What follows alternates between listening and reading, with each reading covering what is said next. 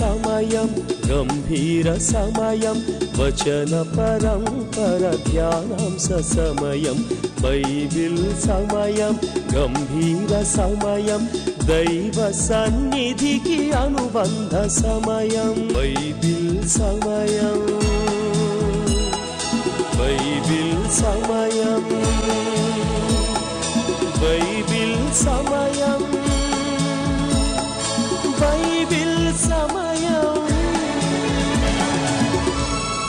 Good evening praise lord దేవుని నామానికి స్తోత్రం.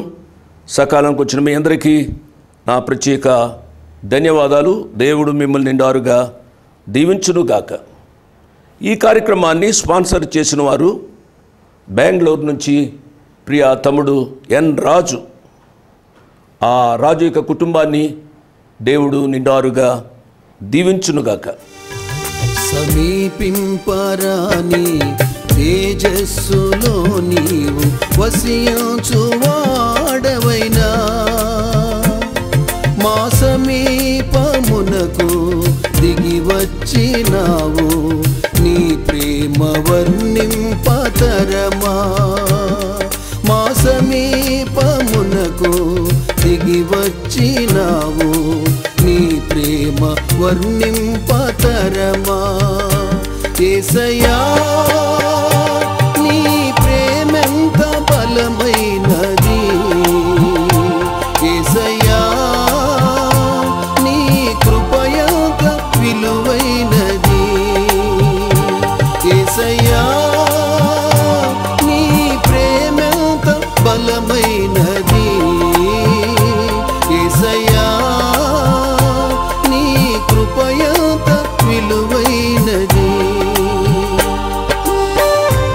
ఇక ఆ కార్యక్రమంలోనికి వెళదాం. దానియులు గ్రంథం పన్నెండవ అధ్యాయం చివరి అధ్యాయం. చివరి అధ్యాయాన్ని ఈరోజు మనము ధ్యానం చేయాలి అంటే సమీక్షించాలి. ఈ సమీక్ష అయిన తరువాత క్విజ్ ఉంటుంది. క్విజ్ అంటే దానియులు గ్రంథంలో ఉన్న పన్నెండు అధ్యాయాల్లో పన్నెండు ప్రశ్నలు ఉంటాయి. ఆ ప్రశ్నలలో మంచిగా రాసిన వారికి first prize second prize third prize ఉంటుంది. దయచేసి ప్రైజుల కొరకు కాదు దానియేలు గ్రంథంపై మీరు మంచి పట్టు కలిగిన వారి. ఆ ప్రభు యొక్క రాకడ కొరకు సిద్ధపడుతూ మీరు క్విజ్ కొరకు సిద్ధపడాలని మనవి చేస్తూ నేను ప్రార్థన చేస్తాను తదుపరి సమీక్ష చేస్తాను. ప్రార్థన చేస్తున్నాను. తలలు వంచండి కండ్లు మూసుకునండి. ప్రేమ కలిగిన మా ప్రియ పర్లోకపు తండ్రి వందనాలు స్తోత్రాలు. ఈ కార్యక్రమాన్ని స్పాన్సర్ చేసిన మా ప్రియ బాబు రాజు కొరకై తన కుటుంబం కొరకై ప్రార్థన చేస్తున్నాం. కర్ణాటక రాష్ట్రంలో కూడా ఈ ఆరాధన ఛానల్ రావడానికి బైబిల్ సమయం రావడానికి ఈ కార్యక్రమాన్ని కర్ణాటక రాష్ట్రంలో బెంగళూరు ప్రజలు వినడానికి మీరు చేస్తూ ఉన్న సహాయం కొరకై వందనాలు స్తోత్రాలు. ఆంధ్రప్రదేశ్ తెలుగు ప్రజలు మాత్రమే కాకుండా ఇతర రాష్ట్రాల్లో ఉన్న తెలుగు ప్రజలు కూడా వినడానికి ఆయన పాత్రలు అయోగ్యులమైన మమ్ములను మీరు వాడుకుంటున్న విధానం కొరకే స్తోత్రాలు. దానియుల గ్రంథం పన్నెండవ అధ్యాయాన్ని సమీక్షిస్తున్నాం ప్రవ్వా. నాయన ఈ అధ్యాయంలో ఉన్న సత్యాలు నాయన మమ్మలను మీ రాకడ కొరకై సిద్ధపరుస్తూ ఉన్నాయి. ఆ సత్యాన్ని మేము గ్రహించి ఆయన జ్యోతులు అని మీ కొరకు ప్రకాశించినట్లు సహాయపడమని యేసు ప్రభు వారి పుణ్యనామమున స్తుతించి ఘనపరిచి వేడుకున్నాము తండ్రి. ఆమెన్. ఆమెన్ అని నాతో చెప్పిన మీ అందరికీ నా ప్రత్యేక వందనాలు. దానియేలు గ్రంథం పన్నెండవ అధ్యాయాన్ని ముందుంచుకోనండి.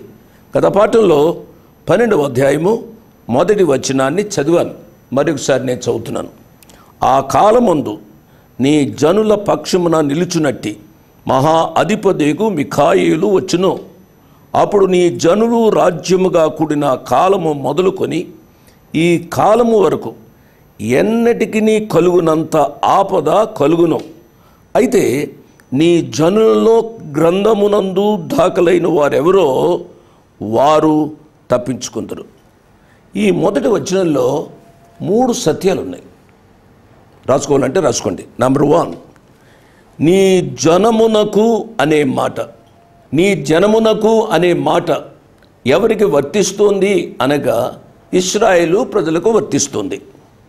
ఇది భూమి మీద నుండి సంఘము ఎత్తబడినప్పుడు చాలా దీర్ఘంగా ఆలోచించాలి. నెంబర్ వన్ నెంబర్ టూ దినముల అంతమందు అనే మాట క్రొత్త నిబంధనలోని అంచె దినాలు అని మనం అర్థం చేసుకోవాలి. ఇది దానియలు భక్తుడు చెప్పిన డెబ్బయో వారానికి సూచన. డెబ్బయో వారం గురించి మనం ధ్యానం చేస్తూ వచ్చాం. నెంబర్ త్రీ ఈ మొదటి వచనంలో ఉన్న మూడు పాయింట్స్. ఆ దర్శనపు సంగతి ఇంకా అనేక దినముల వరకు జరుగదు అంటే ఈ దర్శనము దానియలు భక్తుడు చూచిన తరువాత ఎన్నో వేల సంవత్సరాలకు జరుగుతుంది. ఎందుకు అనగా అప్పుడు జరుగుతుంది అని ఈ యొక్క గ్రంథము ముద్రించబడింది. అప్పటికే దానియేలు చెప్పిన ప్రవచనం రెండు వేల ఐదు సంవత్సరాలు పైచులుకైంది అప్పటికే ఒక సంగతి మనం గమనించాలి. ఈ దర్శనంలోని సంగతులు సంఘము ఎత్తబడిన తరువాతనే జరుగుతాయి. మరొకసారి నేను దాని మీద నొక్కి చెప్తున్నాను సంఘము ఎప్పుడు ఎత్తబడుతుందో ఎవరికీ తెలియదు అప్పుడు ఇప్పుడు అని ఎవరైనా చెబుతూ ఉంటే మీరు నమ్మవద్దు. జాగ్రత్తగా మనం వినాలి. ఎందుకు నమ్మవద్దు అనగా ఈ దినాల్లో చాలామంది మనుషుల మీద ప్రయోగాలు చేసినట్టుగా చేస్తున్నారు. మనుషుల మీద ప్రయోగాలు చేసి డబ్బు సంపాదించాలి అనే తాపత్రయమే కానీ వారి యొక్క జీవితాల్లో సత్యవాక్యమును సరిగా విభజించే అనుభవంలోనికి రాలేకపోతున్నారు. మరొకసారి చెప్తున్నాను నేను ఎవరిని విమర్శించాలని కాదు. నా మటుకు నేను దేవుని వాక్యాన్ని కొన్ని సంవత్సరాలుగా చదివి చదివి ధ్యానించిన వానిగా పెద్దవానిగా నేను ఈ మాటలు చెబుతున్నాను. ఆ కాలమందు అనే పదంలో అంత్యకాలము అని మనం చెప్పుకుంటూ వస్తున్నాం. దానియలు గ్రంథం పదకొండవ అధ్యాయము ముప్పై ఐదవ వచనంలో ఈ రీతిగా ఉంది. నిర్ణయ కాలము ఇంకా రాలేదు. కనుక అంత్యకాలము వరకు జనులను పరిశీలించుటకును పవిత్రపరచుటకును బుద్ధిమంతులలో కొందరు కూలుదురు. ముప్పై ఐదో వచనం. నలభై వచనం చూడండి. నలభై వచనంలో చూస్తే అంచకాలమందు దక్షిణ దేశపు రాజు అతనితో యుద్ధము చేయును. మరియు ఉత్తర దేశపు రాజు రథములను గుర్రపు రౌతులను అనేకమైన వాడలను సమకూర్చుకొని తుఫాను వలె అతని మీద పడి దేశముల మీదుగా ప్రవాహముల వలె వెళ్ళెను. అంత్యకాలము. అది మనము అర్థం చేసుకోవాలి. ఇప్పుడు అప్పుడు అంత్యకాలము. యేసు వారు వచ్చేస్తారు అనే బోధలు కాదు ప్రిల్లరా ఆ అంత్యకాలం ఎప్పుడో మనకు తెలియదు కాబట్టి ఎల్లప్పుడూ సిద్ధంగా ఉండాలి అని ప్రభు పేరు నేను మనవి చేస్తున్నాను. ప్రియా కుటుంబీకులారా ముఖ్యంగా భార్య భర్తలారా మీరిద్దరూ దెబ్బలాడుతున్నప్పుడు ప్రభు వస్తే మీ జీవితాలు ఎలా ఉంటాయో ఆలోచించాలి. ప్రియా ఎవరిని బిడ్డలారా మీరు ఏదైనా పాప జీవితంలో ఉన్నప్పుడే ప్రభు యొక్క రాకడ వస్తే మీ జీవితాలు ఏ రీతిగా ఉంటాయో ఆలోచించాలి. రక్షింపబడి ఆయన రాకడ కొరకు ఎప్పుడు ఎదురు చూస్తూ ఉండాలని నేను మనవి చేస్తున్నాను. ఇంకా రక్షింపబడకుండా ఆయన రాకడ కొరకు సిద్ధపడకుండా నిర్లక్ష్యంగా ఎవరైనా జీవిస్తూ ఉంటే ఇది ఒక కాషన్గా హెచ్చరికగా తీసుకుని వాళ్ళని ప్రభు పక్షంగా నేను మనవి చేస్తూ ఉన్నాను. రెండవ వచనాన్ని చదువుతున్నాను. మరియు సమాధులలో నిద్రించు అనేకులు మేలుకొనిదరు కొందరు నిత్యజీవము అనుభవించుటకును కొందరు నింద పాలొకటకును నిత్యముగా హేయులొకటకును మేలుకొందరు ఈ వచనం చదవడానికి సులువుగా ఉంది కానీ అర్థం చేసుకోవడం చాలా కష్టం. ఈ గ్రంథం సాధారణంగా ఇస్రాయిల్ ప్రజల కొరకు రాయబడిన గ్రంథం దానియులు గ్రంథం. దానిని మనము అన్వయించుకోవాలి. మన వ్యక్తిగత జీవితాలకు కుటుంబ జీవితాలకు అన్వయం చేసుకోవాలి. ఈ వచనంలో సమాధులలో నిద్రించువారు అనేకులు మేలుకొనెదరు అంటే ఇది పాత నిబంధన భక్తులకు సంబంధించింది. అర్థమైంది కదూ? సంఘము ఎత్తబడినప్పుడు జాగ్రత్తగా వినాలి. సంఘము ఎత్తబడినప్పుడు పాత నిబంధన పరిశుద్ధులు లేపబడరు. అబ్రహాము మొరియా పర్వతంపై తన కుమారుడిని ఇస్సాకును బలి అర్పణ చేసినప్పుడు తప్పనిసరిగా దేవుడు తన కుమారుణ్ణి లేపుతాడు అని విశ్వసించాడు. తప్పనిసరిగా ఆయన లేపాడు. హెబ్రిలకు రాసిన పత్రిక పదకొండవ అధ్యాయము పంతొమ్మిదవ వచనంలో చూసినట్లయితే ఈ రీతిగా వ్రాయబడింది. హెబ్రిల్కు రాసిన పత్రిక పదకొండవ అధ్యాయము పంతొమ్మిదవ వచనం. అబ్రహాము శోధింపబడి విశ్వాసమును బట్టి ఇస్సాకును బలిగా అర్పించను. ఎవడు ఆ వాగ్దానములు సంతోషముతో అంగీకరించినో ఇస్సాకు వలనైనది నీ సంతానము అనబడును అని ఎవనితో చెప్పబడినో ఆ అబ్రహాము. మృతులను సహితము లేపుటకు దేవుడు శక్తిమంతుడని ఎంచినవాడై తన ఏక కుమారుని అర్పించి ఉపమాన రూపముగా అతనిని మృతుల్లో నుండి మరలా పొందెను. దేవుని నామానికి స్తోత్రం. అందుకునే విశ్వాసులకు తండ్రి అబ్రహాము. అబ్రహాం యొక్క ఆ బల్యర్పణ ఆ సాహసం తన కుమారుణ్ణి బలిగా ఇచ్చే సాహసం మన జీవితాలకు మాదిరి అని నేను జ్ఞాపకం చేస్తున్నాను. యోబు భక్తుడు కూడా ఈ రీతిగా అన్నాడు. యోబు గ్రంథం పంతొమ్మిదవ అధ్యాయంలో చూసినట్లయితే ఈ రీతిగా ఉంది. పంతొమ్మిదవ అధ్యాయము ఇరవై ఐదవ వచనాంచి చదువుతున్నాను. అయితే నా విమోచకుడు సజీవుడనియు తరువాత ఆయన భూమి మీద నిలుచుననియు నేను ఎరుగుదును ఇలాగు నా చర్మము చీగిపోయిన తరువాత శరీరముతో నేను దేవుని చూచిదను. నా మట్టుకు నేనే చూచిదను. మరి ఎవరూ కాదు నేనే కనులారా ఆయనను చూచిదను. నాలో నా అంతరింద్రియములు కృషించి ఉన్నవి. చాలామంది పాత నిబంధన ప్రవక్తలు వారి భవిష్యత్ పునరుద్ధానాన్ని గూర్చి విశ్వసించారు అనే విషయాన్ని నేను జ్ఞాపకం చేస్తున్నాను. హోషియా గ్రంథంలో ఒక మాట ఉంది. హోషియా గ్రంథం పదమూడవ అధ్యాయము పద్నాలుగు వచనంలో ఈ రీతిగా ఉంది. అయినను పాతాళ వశములో నుండి నేను వారిని విమోచింతును. మృత్యువు నుండి వారిని రక్షింతును. ఓ మరణమా నీ విజయం ఎక్కడ ఓ మరణమా నీ ముల్లెక్కడ? పశ్చాత్తాపము నాకు పుట్టదు. యశా గ్రంథంలో మీరు చదవండి.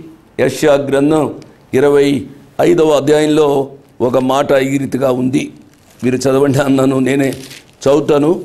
యశా గ్రంథం ఇరవై ఐదవ అధ్యాయము ఏడవ వచనంలో సమస్త జనముల ముఖములను కప్పుచున్న ముసుకును సమస్త జనుల మీద పరచబడిన తెరను ఈ పర్వతం మీద ఆయన తీసివేయను.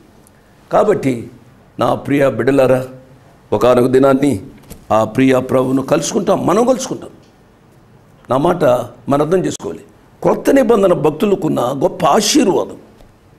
మనం ఆయనను చాలా శీఘ్రముగా కలిగిపోతున్నాం పాత నిబంధన భక్తులకు ఆ యొక్క ప్రివిలేజ్ ఆధిక్యత లేదు. మనకు ఆధిక్యత ఇవ్వబడింది. ఈ ఆధిక్యతలో నీవు నేను ఉండాలి అనగా యేసు ప్రభు యొక్క పరిశుద్ధ రక్తం చేత విమోచింపబడిన అనుమము కలిగి ఉండాలని ప్రభు పేరిట నేను జ్ఞాపకం చేస్తున్నాను. ఈ సత్యాన్ని ప్రతి ఒక్కరూ అర్థం చేసుకోవాలి.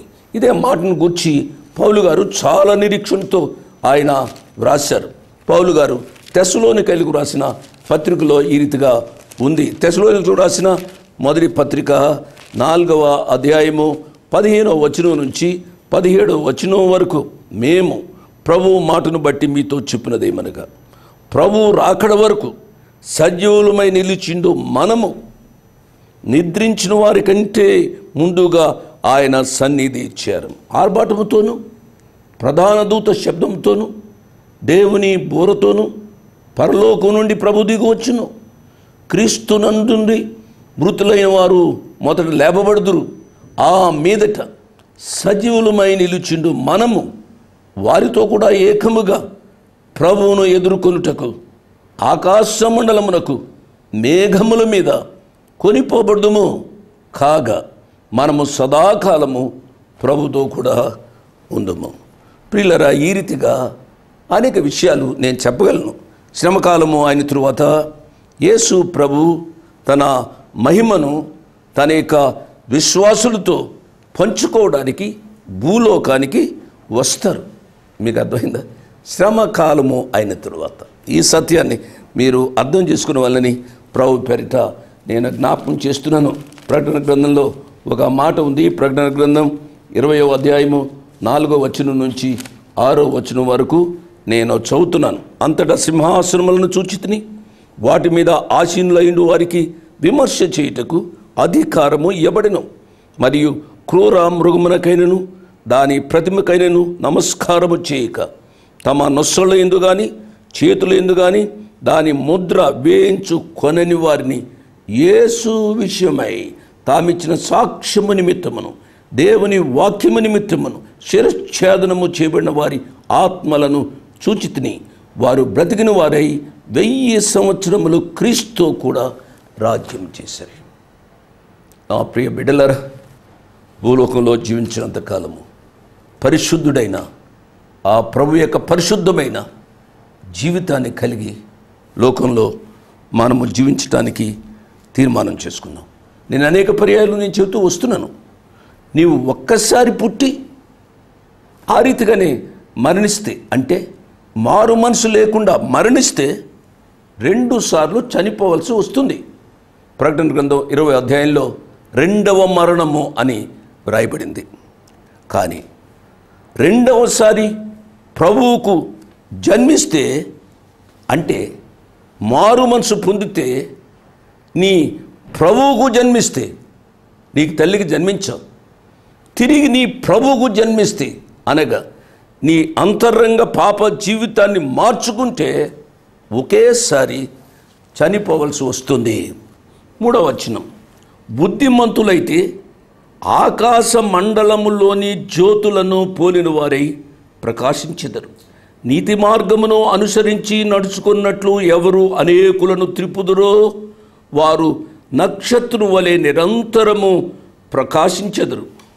ప్రియులరా ఈ వచనం చాలా క్రిస్టల్ క్లియర్గా ఉంది. ఆ కాలంలో అంధకార సంబంధులు లోకాన్ని ఏలుతారు. అది చీకటి యుగం. ఆ చీకటి యుగంలో జ్యోతుల వలె ప్రకాశించాలి దేవుని యొక్క సేవకులు. ఈ దినాల్లో కూడా విశ్వాసులైన మనం కూడా జ్యోతుల వలె ప్రకాశించాలి.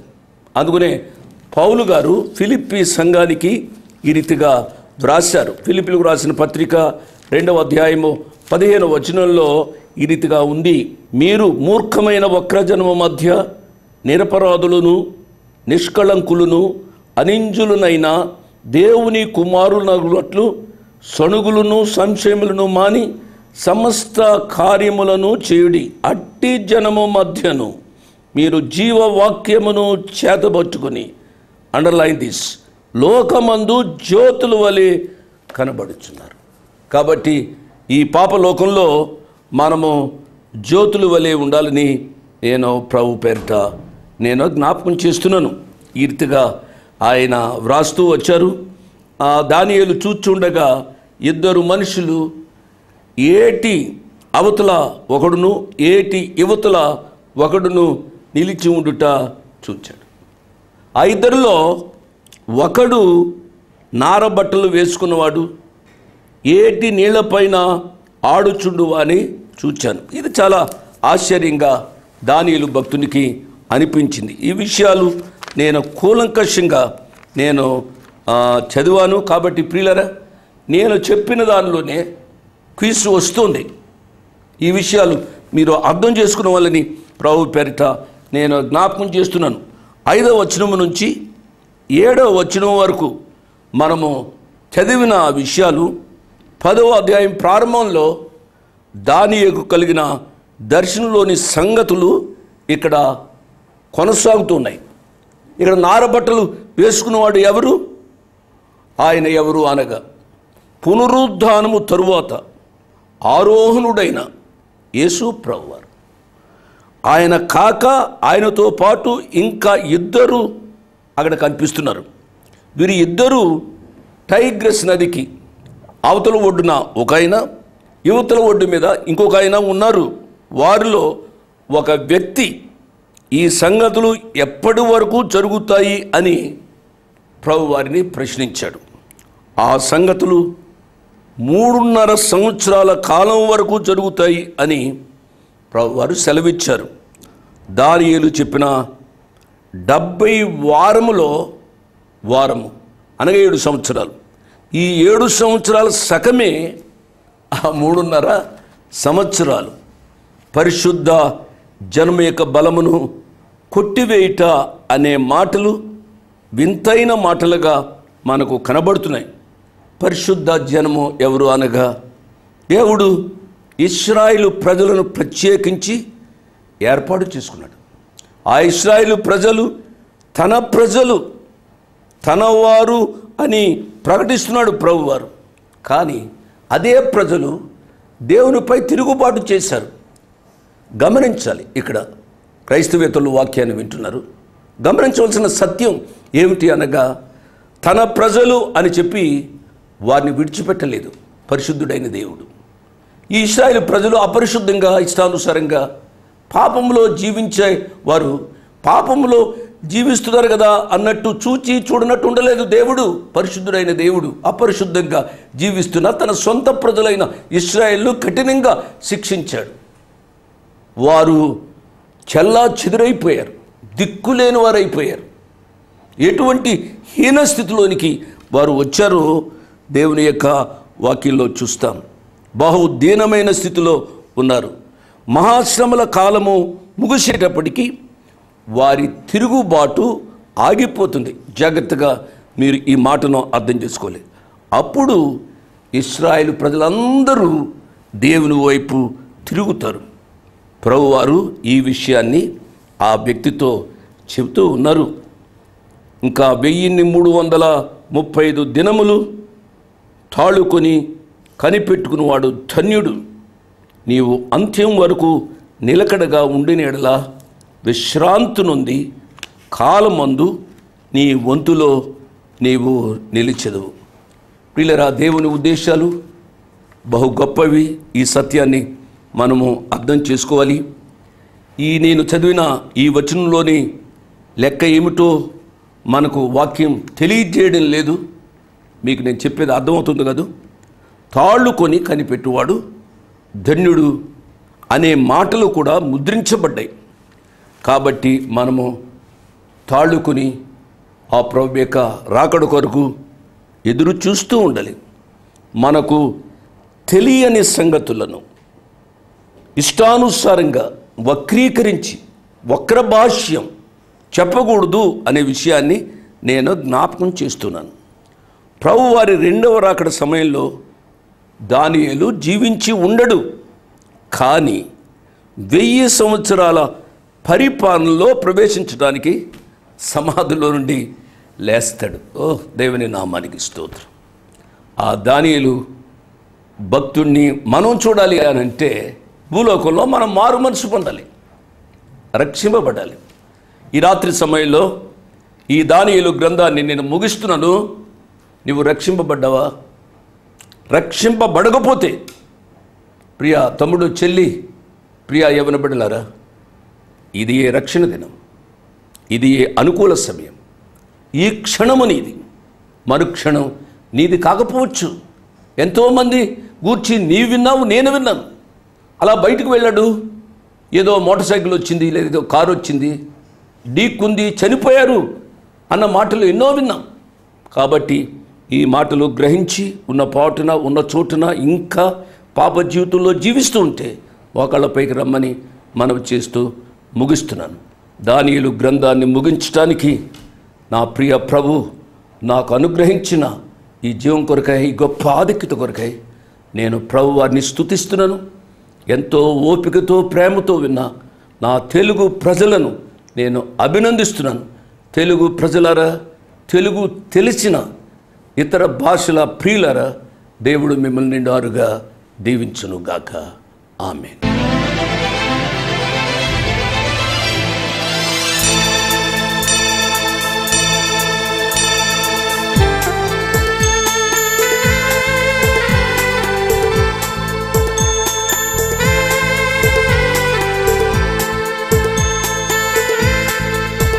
ఇంతవరకు వాక్యాన్ని విన్నందుకు మీకు నా హృదయపూర్వక వందనాలు. ఒక ప్రత్యేకమైన మనవి చేయడానికి మరొకసారి మీ ముందుకు వస్తున్నాను. అదేమిటి అనగా ఈ కార్యక్రమాన్ని నిర్వహించడానికి నేను ఎంతో ధైర్యం చేశాను అనే విషయాన్ని జ్ఞాపకం చేస్తున్నాను. డబ్బుండి కార్యక్రమాన్ని ప్రారంభించలేదు. నన్ను రక్షించి ఇంతవరకు పిలిచిన ప్రభు ఉన్నారు అని తదుపరి విశ్వాసులైన మీరు ఉన్నారు అనే ధైర్యంతో ఈ కార్యక్రమాన్ని కొనసాగిస్తున్నాం. కాబట్టి ఈ కార్యక్రమానికి అయ్యే ఖర్చులో కొంత భాగమైన మీరు భరించాలని మనవి చేస్తున్నాను. ఒకరోజు కార్యక్రమానికి ఎంత ఖర్చు అవుతుందో ఆ విషయాలు మీరు తెలుసుకోవాలంటే దయతో నాకు ఫోన్ చేసి కానీ ఆఫీసుకు ఉత్తరం రాసి కానీ తెలుసుకుని సహాయపడమని ఒక తండ్రిగా దైవదాసునిగా అంకులుగా మీకు మనవి చేస్తున్నాను. My address 1 dash 1 dash 214 by 2 flat number 505506 1 dash 1 dash 214 by 2 flat number 505506 Prithvi Apartments Extension Vivek Nagar Chikkarpalli Hyderabad 20 దేవుడు మిమ్మల్ని నిండారుగా దీవించునుగాక ఆమె Thank